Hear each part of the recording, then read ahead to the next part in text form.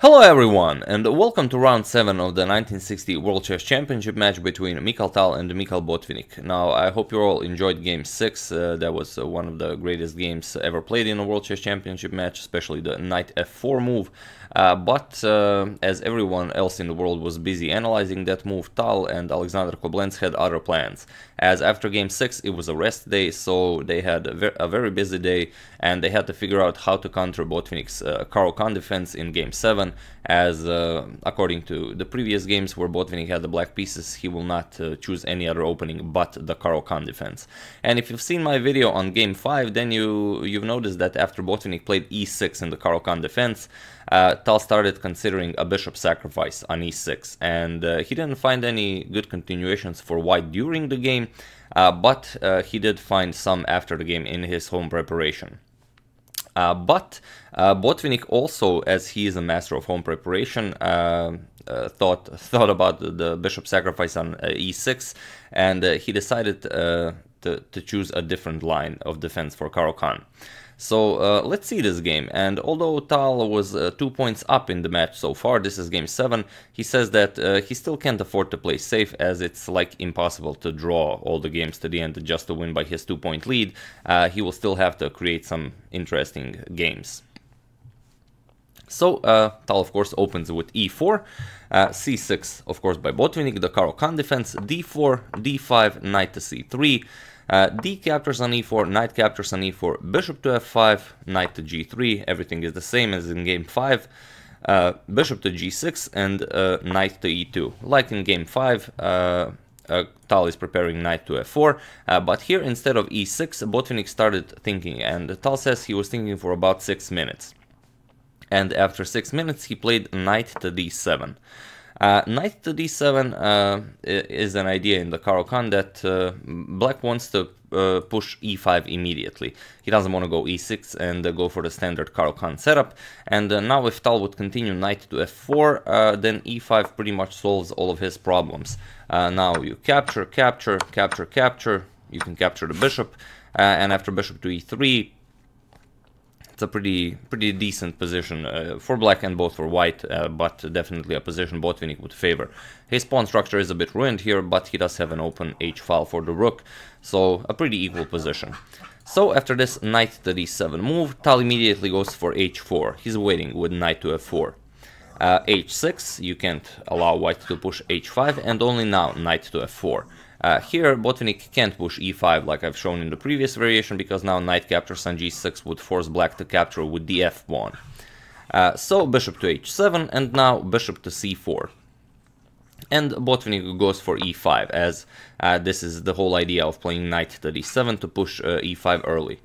Uh, queen to e2, and this queen to e2, Tal thought that uh, entering the endgame would be much favorable for him, but later uh, after this game, Tal only realized that he already played this game a couple of years ago and uh, that he came to the conclusion that uh, black is completely fine uh, after exchanging queens and going for the endgame. Uh, but playing this game, he didn't know this and it's a good thing he didn't. Uh, other than this uh, queen to e2 move, uh, an idea is also knight to d3, uh, but Tal also all, only considered this after the game was played with the idea of sacrificing a, a pawn here, but for some rapid development. but okay, after e5, queen to e2, and now we have queen to e7 uh, Tal captures, uh, we have queen captures, and now bishop to e3. And now uh, Tal is definitely ahead in development, and Botvinnik has to be very careful what to do here. He can't castle queenside, although that would be very nice for black, uh, because the f7 pawn is hanging. So here Botvinnik forces the exchange of queens, bishop to c5. Uh, we have bishop captures, queen captures with check, king captures, uh, knight captures on c5, and now rook h to e1.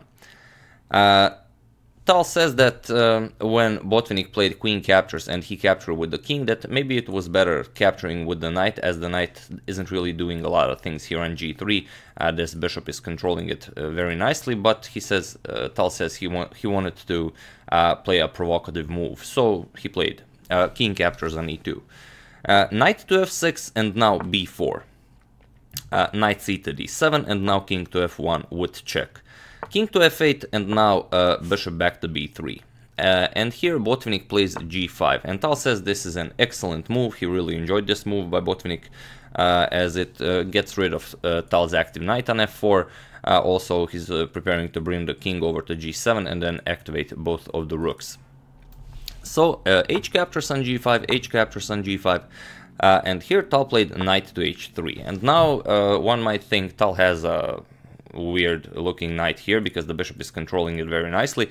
And he has another knight on h3 what is this knight doing on h3 uh, well for one uh, it's preventing black for from pushing g4 as the pawn is attacked. You can't push g4 if g4 knight f4 uh, and now this knight on f4 is there forever there is nothing black can do to get rid of it. Uh, he's controlling all, all, of these very nice squares. So this would be a, a big positional uh, blunder by Botvinnik so instead after knight to h3, Botvinnik plays rook to g8, now protecting his g5 pawn, and here we have rook uh, to d1.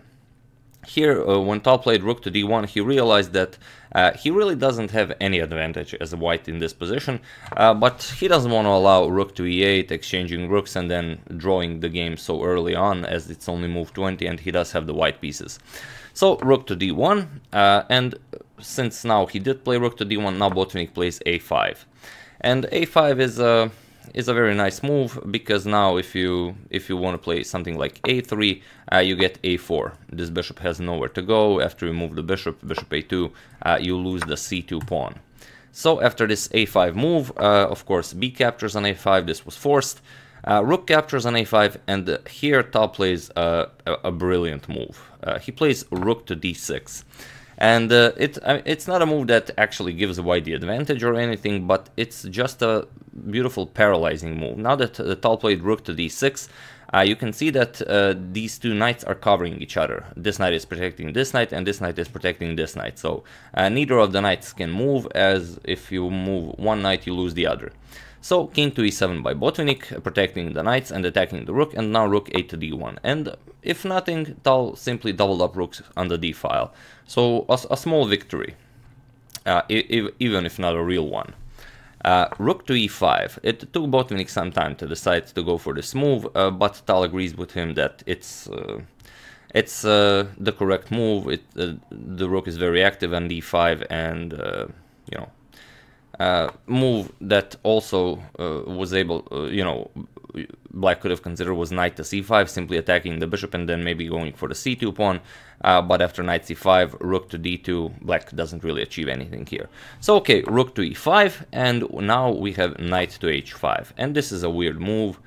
Uh, just playing knight to h5. Of course, if Botvinnik captures it, then Tal will capture on d7. And uh, this is uh, idea. This is the idea of the quote above the board. Tal simply played this knight to h5 with the idea uh, of exchanging his stupid knight on g3 for Botvinnik's active knight on f6. So basically, that's that's the only idea Tal had here.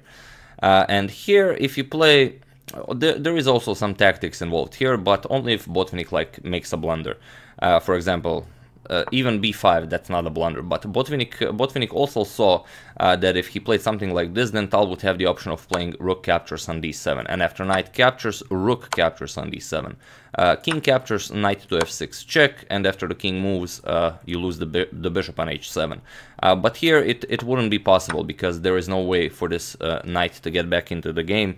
So even a move like b5 was not a blunder. But Botvinnik doesn't want to get tangled in Tal's tactics, and he immediately gets rid of this idea. He plays bishop to g6, and uh, bishop to g6, although it prevents an idea like that, which wasn't really a threat, Botvinnik just saw ghosts. But, you know, it, it's interesting that it can happen even to a player like Botvinnik in, in a World Chess Championship uh, game.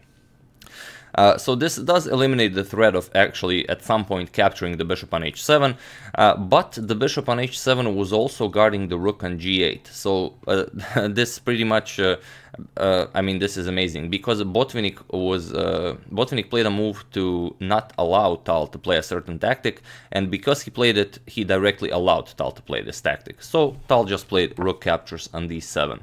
Knight captures, rook captures, king captures, knight to f6 check, forking the king and the rook on g8. Uh, king moves, knight captures on g8, and uh, now you can see that uh, Tal has two knights, although they are two very poorly placed knights for the rook, but they are two pieces for the rook.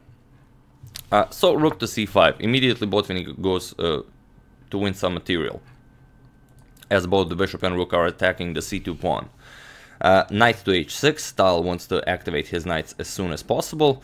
Uh, now, of course, if bishop captures on c2, then Tal can capture on f7 with check. So first f6, uh, knight to g4, now attacking the f6 pawn, and here uh, Botvinnik played bishop captures on c2. And Tal doesn't agree with bishop captures on c2. Tal thinks that f5 would give black more chances to hold this position. Uh, simply, you know, you're, you're, kicking this knight away, you're not allowing him to capture on f6. But okay, bishop captures on c2. Uh, knight captures on f6 and now bishop captures on b3 and now you see this possibility of knight to e4 checking the king forking the rook the bishop is still attacked uh, well if you, if you play this you would uh, you would definitely not win this game you would um, probably even lose it uh, because if you played this checking the king forking the rook uh, the king moves, now you capture the rook, and now if black captures uh, the white knight on c5, then you capture the bishop, but the problem is bishop to c4 check. King moves, now you capture, knight captures on g5, bishop captures on a2, and uh, you have two passed pawns on the queen side, white has two passed pawns on the king side, uh, but you do have a bishop against a knight, and the plays on both sides of the board, so if anyone can win this game, it's black, but, uh, you know, even if even if it would be a draw, uh, it would be a terrible mistake in this position to play knight to e4 check. Uh, which Tal doesn't. Tal plays a captures on b3, uh, still keeping his two knights for the rook. Uh, we have rook to b5, attacking the b3 pawn. Uh, knight captures on g5, and now rook captures on b3. And here, uh, Tal says he has two, two um, uh, connected passed pawns. Botvinnik has two connected passed pawns, but his pawns are uh, escorted by a lonely rook, and uh, as Tal says it, he has two fast horses for the race. So f4, Tal immediately starts pushing his passed pawn. Rook to b1 check, king e2, uh, rook to b2 check, king f3, rook b3 check, king g4, and now rook to b2, of course attacking the g2 pawn, g3, and now b5. Botvinnik also starts pushing his uh, passed pawn. Uh, but Tal has an extra tempo uh, up his sleeve. Knight to e4 check. Uh, now, this comes with a tempo, the king has to move, and now f5, uh, clearing the way for the passed f-pawn. Uh, the knight is also controlling the f2 square, so the rook can't go behind the passed pawn. b4, we have f6, and now comes rook to a2, f7, and now rook to a8, stopping pawn from promoting itself. Uh, Tal plays uh, knight to h7, and this is a very interesting move uh, because you can't capture this knight uh, on e4. Now if you capture it, you get knight to f6 check. Uh, king has to move, and now you get knight to e8, uh, simply blocking this rook. Either rook has to capture it, you bring a queen, or if black does nothing, you simply play f8 and promote to a queen. So a very nice tactic, knight to h7. So Botvinnik plays b3, starts pushing his own passed pawn. And uh, here uh, you can't promote to a queen immediately. If you do this, black simply black simply captures it. After you capture it, I mean the b3 pawn is unstoppable. So after this uh, b3 move, Tal plays knight to d2. Uh, we have b2, and uh, this is well, there were a lot of nice moments in the game, uh, but this is a critical moment in the end game. Here you have only one move that wins the game for Tal. So you're Tal uh, pause the video, try to defeat Mikhail Botvinnik. Also a very nice position to study your endgame skills. Uh, you always say you, you want to study the endgame, so here's your chance. Uh, so, uh, for those of you who found the, the move, congratulations, you are an excellent player. And for those of you who maybe didn't want to waste too much time, um, and just want to enjoy the show. Uh, in this position, Tal played king to f3, and this is the only winning move. Uh, since you have to bring the king over uh, to prevent both uh, c and b pawn. So the king will at some point come to c2, and you definitely can't allow black to reach all the way to d3. If you allow black to reach d3, you, you, you can no longer win this game. Uh, so uh, king to d4, Botvinnik still tries to reach d3, but king to e2, not allowing him. Uh, c5, Botvinnik starts pushing his other passed pawn. Now it's time to promote to a queen, but now the two knights will have excellent cooperation. Uh, rook captures, knight captures, c4 now. Uh, knight to e6 check, uh, we have king to d5, knight to f4 check, king d4, and now knight to b1. And here, after playing knight to b1, uh, Mikhail Botvinnik resigned the game, and uh, game 7 also went to Mikhail Tal, so now after, after 7 games, Tal is in the lead 3 points. Uh, why did he resign? It seems like if Botvinnik would, were to push c3 here, that he's actually winning the game. Uh, because, you know, if you capture it, uh, if you capture with the knight, king captures, then you can promote the b-pawn. Uh, but this was the whole point of Tal bringing his king all the way here. Now, if c3 is played, king to d1, and black doesn't have a move. King e3, simply play king to c2, and after and after king to f3, uh, hoping to win the g-pawn, simply knight to e2, and uh, now black really doesn't have a move. If he captures the knight, then he can no longer stop the passed pawn, and if he doesn't do anything, white will simply capture both pawns and then escort his passed pawn up the board. So yeah, after knight to b1, uh, a wonderful move to end the game on move 52. Uh, that was game 7, Tal versus Botvinnik 1960 match. I do hope you enjoyed it.